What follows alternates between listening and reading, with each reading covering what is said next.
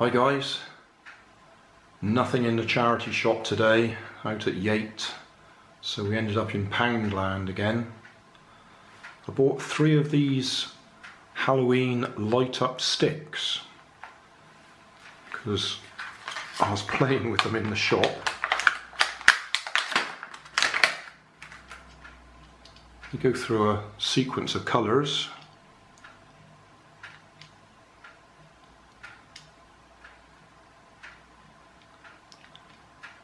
which will be popular with my grandchildren.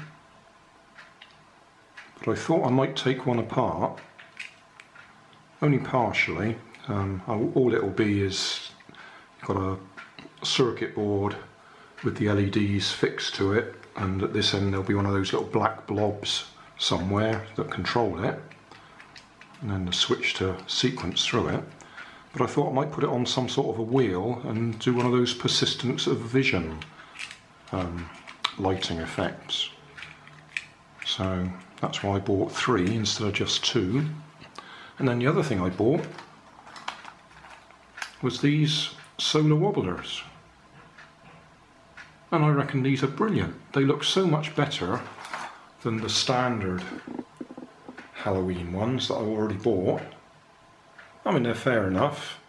Um, which one's which? I think that one's Frankenstein monster, mummy, uh, skeleton, and that one I couldn't figure out what it was initially, but it's supposed to be a vampire, isn't it? But yeah, I should take these out, see if they work. Might as well do that now, haven't I? Not that there's any sun today, but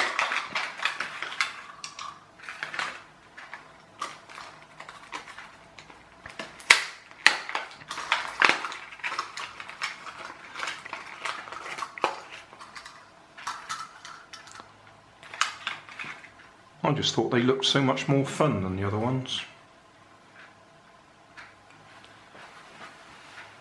Uh, I'll get a bulb to give them a bit more sunlight. I say that, he's quite happy, isn't he?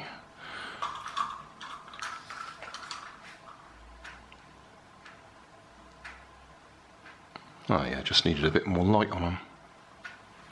Yeah, I reckon they look really good.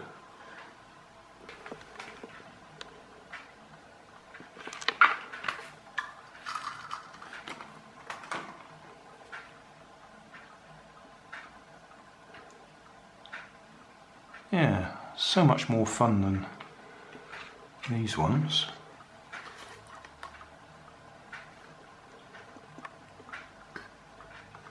Well, that's a couple more in my collection of solar wobblers.